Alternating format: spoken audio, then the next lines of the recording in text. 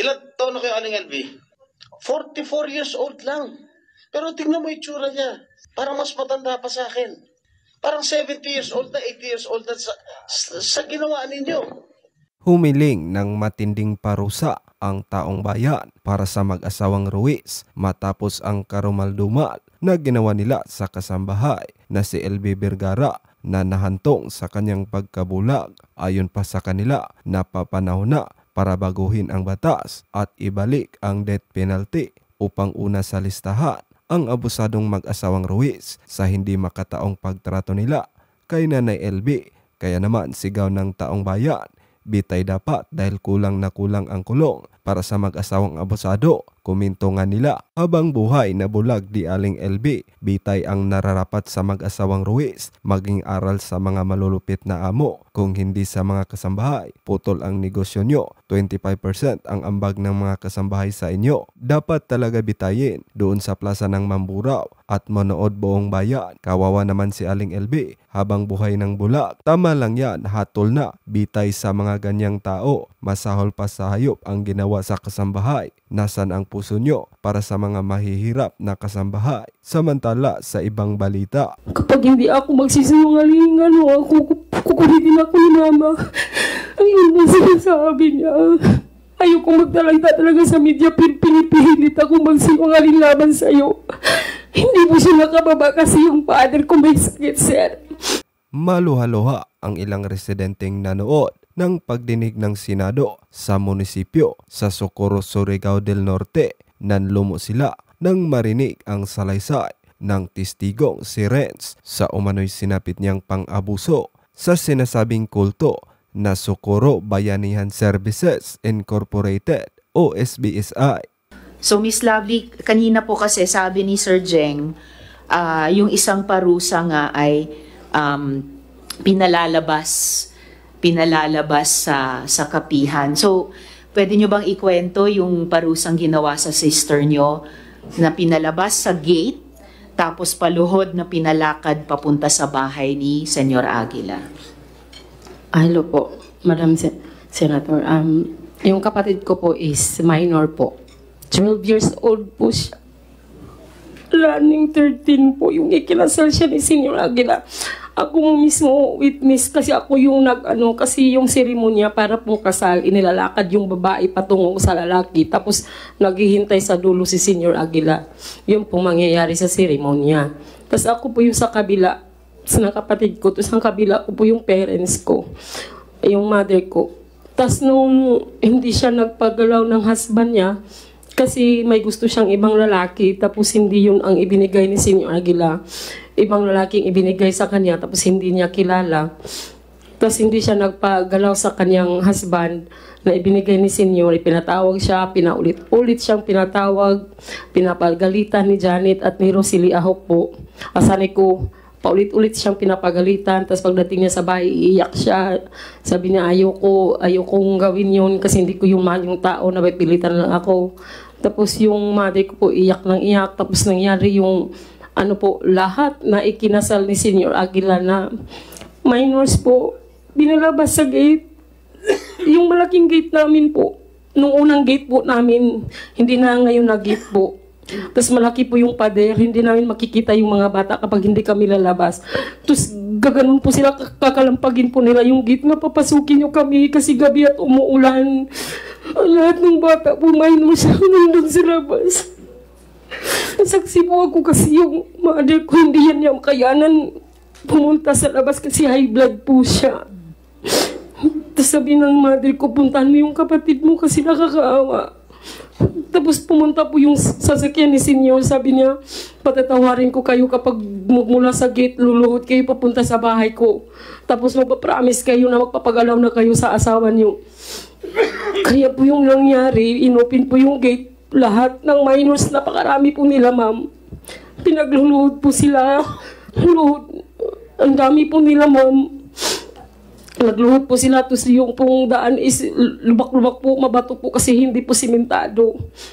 Pumunta po sila doon ni, sa bahay ni Senyor Aguila. Nagsasabi sila, Senyor, hindi na kami uulit. Papayag na kami sasabihin niyo, magpapagalaw na kami. Kaya yung nangyari, ma'am, nabuntis yung kapatid ko. Dalawang busy po siya ng buntis, tapos nag-miscarriage po siya. Nung pangalawang miscarriage po niya ay mantik na siyang mamatay. Na-admit po siya sa aming ospital po. May ospital po kami doon na ang, sa, ang nangangasiwa ay si Senyor Aguila po. How, how old yung kwan mo? How old yung kapatid mo? 12 po, sir. Sana siya ngayon? Nandun po sa kapihan, Kapihan. Yes po. Nung una gusto niyang bumaba, nung bumaba na ako, sir, sabi ko, ate, wag ka munang bumaba kasi may sakit yung father namin, sir. Wala nang mag-aasikaso sa father natin kapag Si- susunod Aguila. ka. Bakit gustong gusto mong mag-sex yung mag-asawa? Bata, 12 years old, pipilitin mo makipag-sex sa lalaki na hindi niya kagustuhan. Kinasal mo na, pagkatapos sisiguruhin mo pa na sila mag-sex. Kung hindi mag-sex, pinapanis mo yung yung ah, bata. Hindi po yan totoo, sir. Ha? Hindi po yan totoo, Your Honor. Puro ka lang hindi totoo. Hindi Ano yan. totoo sa'yo? Hindi ko po magagawa. Ha? Sigurado ka? Opo, opo. Kasi I, I don't find it, wala akong nakitang rational behind bakit ah, gustong-gusto mong mag-sex sila. Ha? Kinasal mo na nga silang sa pilitan, pagkatapos, pa, pinapalo-up mo pa na mag-sex. Ah, that's too much intrusion Hindi po yan into totoo, their, sir. ah, into their ah, personal ah, Hindi po yan lives. totoo, sir. Kahit tanungin natin yung kanyang kapatid, Nasaan yung kapatid niya? Nasa kapihat po. Nasa kapihan. Opo. Pwede mo papuntahin dito bukas. Wala akong budget po para... O ako magpamasahe. Opo. Papuntahin dito Opo. bukas. Opo. Kaya mo? Opo, opo. Kumsek, kunin yung pangalan nung Yung ka- kahit kanyi, yung kanyang ina. Mr. Chair, please, Mr. Kilario, tigilin niyo ang pagturo ng daliri niyo sa Sorry mga po, sorry po. witnesses Sorry, natin. sorry po. Ah, wala. Sorry po. Ah, wala. Opo. Ah, sige, sige. Dili man siya katahas, sir, o gayag nanay. Ha? ay apel sir og isang nanay sir eh, kasama para ma makuan ma imbis na imbestigahan. Excuse me, sir. Kaya gusto niyang isama yung mother ko kasi yung kapatid ko pinapagalitan ng mother ko. Sabi ng kapatid ko, ate, kapag hindi ako magsisinungaling, ano, kukulitin ako ni mama. Ayun na sinasabi niya.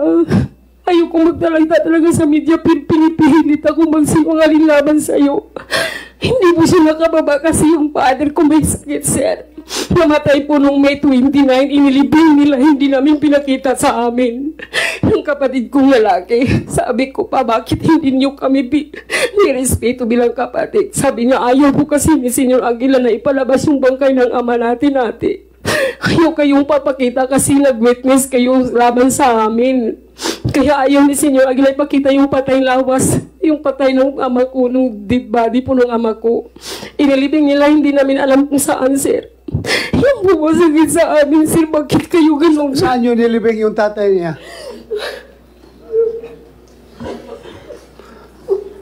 Saan yun nilibing?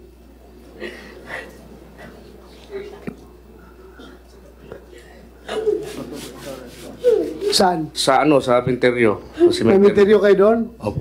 Opo. Ano kinamatay noon? Ah may may sakit sa baga po, sir. Sakit sa baga? Oh. Ano po, sir? Ako, nung bumaba ako, sir, yung pera po na pinag... Nung imipon ko po, nung bumaba kami, nakatrabaho yung an- husband ko sa jail po, sir. Pag uwi po niya, may pera po kami.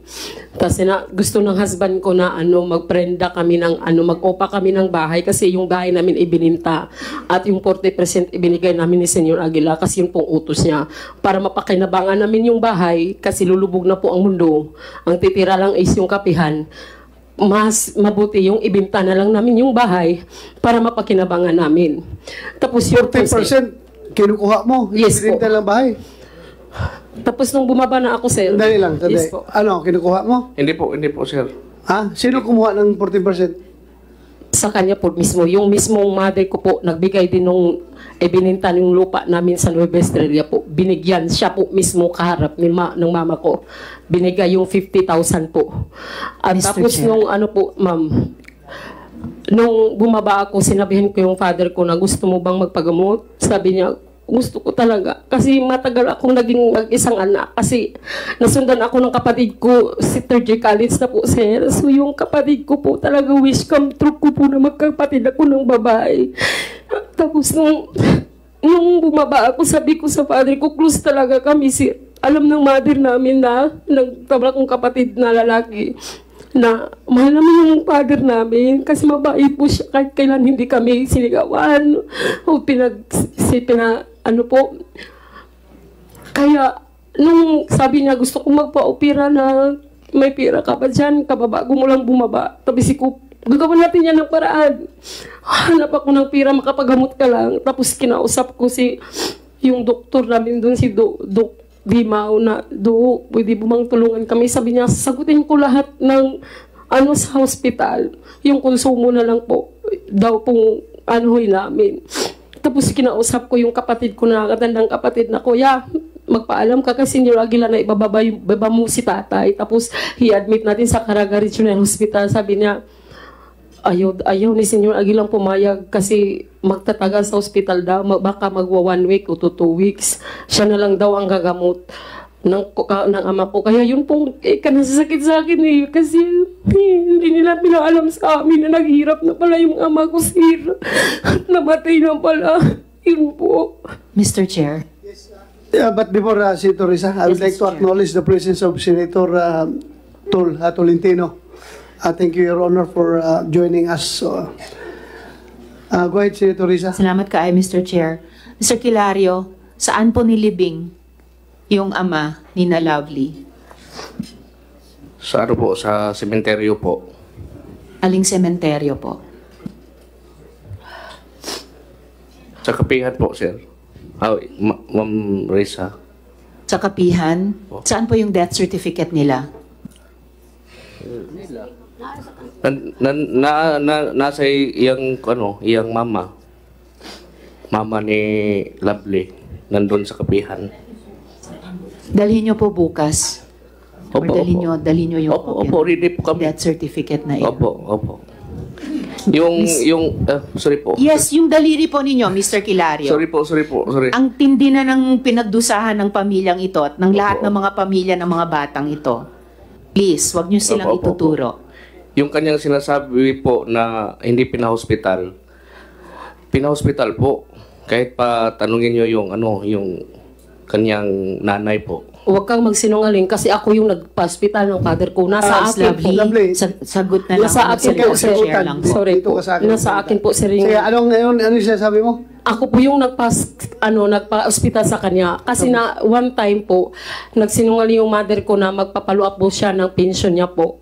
Kaya sabi niya hindi po pwedeng iwan yung father ko kasi may sakit na. So isinama niya pababa. Pero ang inside po doon is pinagamot ko yung papa po ko, pina-check ko sa health specialist po ano, pinatingnan ko yung puso niya, yung baga niya. Kasi yung dati, naoperahan siya sa baga niya, sir. Tapos yung baga niya pinatignan namin. Tapos sa, yung findings ng doktor po is may ano po siya, tumor sa baga po. Tapos yung baga na, dalawang baga niya is ano po, infected na. Kaya mahirap man siyang maghinga po. Kaya ang advice mo ng doktor is i-admit ng karaga. Tapos pagkabukas po, pinuntahan sila ng black van ni Senyor Aguila. Tapos kinuha yung ama ko, tina, ibanilig sa kapihan. Yung po Miss na- Lovely, yung black van na Sinundo sinabi ni sila sa barangay Binawi ah, sa sa Tarok matatanda. po compound ng Surigao del Norte. Sinundo po sila. Pinagsundo saan, ma'am? Yes po. At ibinalik po ng kapihan po yung ama ko. Magmula noon hindi ko na nakita. Hanggang nabilitaan kong inilibing na po. Yung ama ko, hindi naman nakita, ma'am.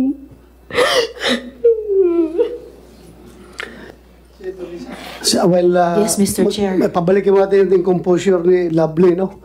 Uh, Paki-plus nga sa kwan, yung picture, Jo. Saka Mr. Chair, for Yes. the record lang uh, Yes, at ahead. this point, uh, ma- mamaya, I mean, tawag pansin yung isang sinabi ni Miss Lovely na yung tanging ospital dun sa Kapihan, si Senyor Aguila ang nag nagpapatakbo or namamahala. So yung tanong na lumi- lumalabas sa isip, bakit doktor ba sila?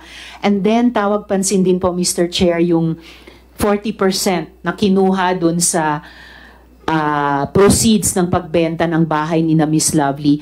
Yun lagi, Mr. Chair, ang lumalabas na porsyento na di umano kinukuha ng Socorro Bayanihan Services sa ilalim ni na Senyor Aguila. Whether sa sa 4-piece or sa senior citizen or sa Typhoon Odette Ayuda, ah, pati po sa may, may isa pa AIX kaya nga po ah, iniimbestigan na pati ng DSWD yung pag, pamumorsyento ni na Senyor Aguila sa mga social protection funds ng mga tao sa kapihan, Mr. Chair. And Thank you, Mr. Senator Risa. Yes, Ah, Mr. Chair. Last uh, follow-up question uh, lang. Ah, kay. Senyor Aguila, registered po ba yung sementeryo kung saan sinabi nyo inilibing ang ama ni na Miss Lovely? Si Board Mamerto na lang yung kung sasagot. Sige, go ahead. Uh, Galani, Mr. Galanida.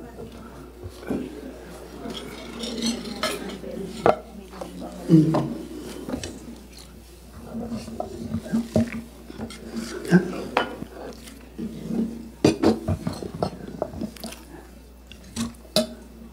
good afternoon, Mr. Uh, Mr. Chair, and good afternoon, uh, Senator Hontiveros, and those in attendance. Again, good afternoon. Ako po ay si Mamerto Di Galanida, 82 years old, uh, dating Schools Division Superintendent, dating Mayor for three terms ng Socorro, at dating Provincial Board Member ng Surga del Norte for three terms. Uh, I'd like uh, first, uh, Mr. Chair, I'd like to say that uh, when my enhanced services were organized in 1980, I was the secretary until 2021. Then, uh, when I was elected as vice president of the association, upon uh, endorsement also of our former president, uh, Rosalina El Tarok. Si Rosalina El Tarok po ay uh, half ah, sister half sister ko. Kasi po ang ah, asawa ko ay sister niya. Kaya po na payag akong si 1980 until 2020 ako po ang naging secretary so I know the ups and downs of the association I have, have the records and uh, all other uh, things uh, that uh, the associ- association uh, went through. Uh, first, uh, Mr. Chair, uh, I would like to... Sandali lang, ah, para matuloy-tuloy tayo ha. Ah, we'll give you the floor mamaya kung anong gusto mong sabihin pero just ah, direct to the point, yung tanong ni Senator Risa kung ah, yung uh, sementeryo doon eh rehistrado ba yun sa gobyerno? Uh, I, I, I, I let, uh, yes, I, let me answer this way, Mr. Chair. Ang sementeryo ng Barangay Siring is uh, around 3 kilometers from our sitio. Di, tanong ko na, that's kadali naman pa eh. Ka- Kadali naman sagutin yung tanong ko kung Kaya- ah, kaya po- rehistrado ba, hindi. Eh, ang, ang, Membro Membro, ng bayanihan. membro ng Bayanihan. bayanihan. Bakit meron silang armas? Hindi po yan armas, sir. Ano yan? Kahoy po yan. Kahoy.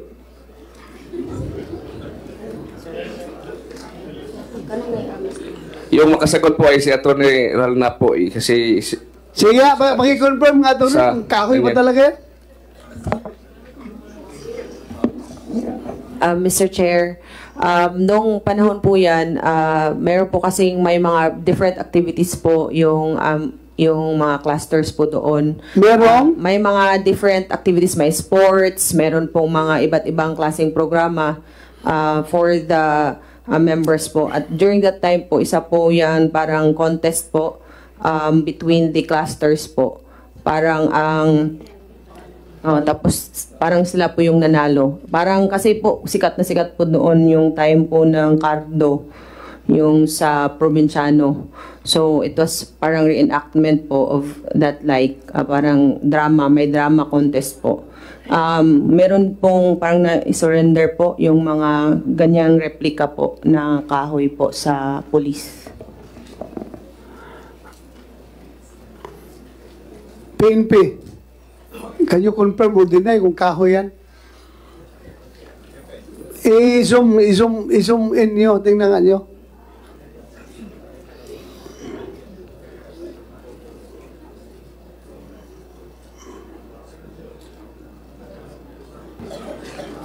Sniper rifle. Uh, good afternoon, uh, Your Honor. Yes, yes. I am Police Captain uh, Basil Monteroso, Your Honor, Go ahead. the Chief of Police of Socorro, MPS, Your Honor. Hanggang ngayon. Current, Your Honor, and I was uh, installed last August 18, 2023 po, Your Honor. Ah, up to the present. Yes, Your Honor. Sige. Can you confirm or deny kung ito yung mga kahoy lang? So, based sa mo validation, Your Honor, na nakandak po, Your Honor. So, hindi po namin nakita yung mga baril, Your Honor, na kahoy. Sa ngayon, Your Honor, hindi po nila pinagpakita sa amin na yung mga, sabi nila, airsoft gun daw, Your Honor. Airsoft gun. At yung iba, Your Honor, is ah, mga kahoy po na rifle, Your Honor. Mr. Chair. Yeah, yeah, yeah. yeah. Si, si, ah, si Senator Tolentino muna. Ah, Yes, Mr. Chair. Yes, go ahead, Senator Tolentino. Humihingi po ako ng paumanhin na late ako dumating. I'll be reading uh, transcripts here. Galing po ako ng malayo. Kagabi, nandito ako, 10.30. Kanina, pagising ko po, nasa ano na ako, Daet, Camarines Norte. Galing pa ako ng Daet. Hinabol ko to. Alam niyo sa Daet, for the record, tinatanong ako ng mga tao ron kung ano ang nangyayari na sa hearing tungkol dito. Kilala lahat, alam ho nila lahat, they're aware of what's going on. So sabi ko, papunta pa lang ako sa Senado. Galing po ako ng Camarines Norte. Pero, Mr. Chair, for the record, gusto kong tanungin si Mayor, si Vice Mayor, di ba ho galing din ako ng Socorro? Can you confirm that? Uh, kailan po ako galing ng Socorro? Mga A few, March, a few months ago. March, March Oo, 2023. pagkatapos ng bagyo. At kinukwento nyo sa akin, meron nga doong isang grupo na ganito, di ba? ho? Hindi lang natin napag-usapan kasi iba naman yung pakay ko doon. Anniversary nyo rin yun. Tapos pumunta tayo doon sa nasirang eskwelahan ng Bagyong Odette. Oo, opo, opo, Senator. natatandaan nyo. So, pa- familiar lahat kayo sa akin. Pinakain nyo ako ng ah, masarap doon ng umaga. So, I'll, I'll be listening intently, Mr. Chair. Uh, lumabas si Mr. Chair at ah, siguro ma- mamaya na lang. Just trying to gain my composure. But as I have said, even as far as Region 5, where I came from a few hours ago, umalis po ako doon, ah, 10.30 na eh. Interesado po lahat sila sa kaso na ito na eh, sa Bicol ngayon kung saan meron silang special celebration sa Daet. So, dapat po siguro sa proceedings natin, kayo po ay nanumpa, magsabi kayo ng katotohanan. Kasi ang daming nakikinig, hindi lang mga tiga Socorro. Ah, baka buong Pilipinas gusto malaman. Kaya ikaw, si, si- sino ba si Senyor? Si Mr. J. J. Renz. Marami na nakakakilala sa iyo. Ah, kaya dapat siguro magsabi ng totoo rito. Yun lamang, Mr. Chair. ah. Wala na si Chairman. He, went ah, on a quick break but ah, I understand minority, the Deputy Minority Leader will have a question. Salamat po.